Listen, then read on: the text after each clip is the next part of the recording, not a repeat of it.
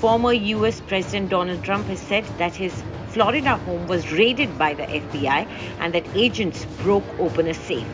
Mr. Trump said in a statement that his home in Palm Beach was occupied by a large group of FBI agents.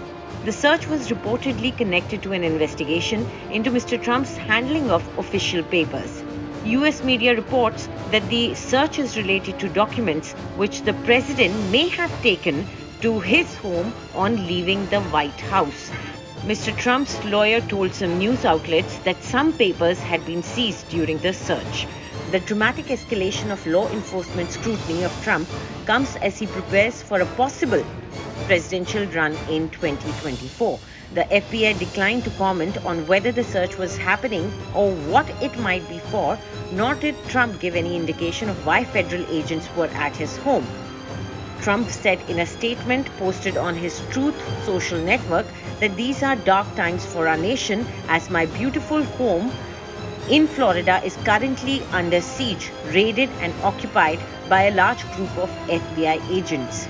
Multiple US media outlets cited sources close to the investigation as saying that agents were conducting a court authorized search related to potential mishandling of classified documents that had been sent to Mar a Lago.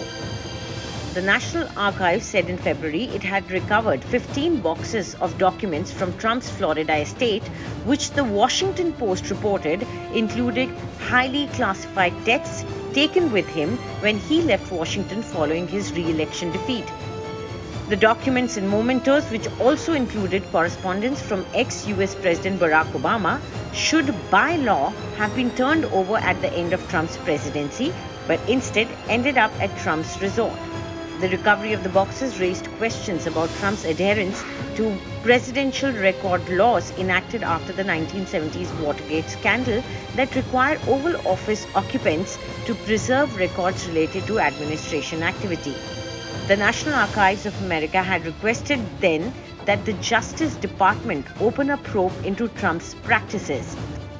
According to a forthcoming book by New York Times reporter Maggie Haberman, White House staff also regularly discovered wads of paper clogging toilets, leading them to believe Trump was trying to get rid of certain documents.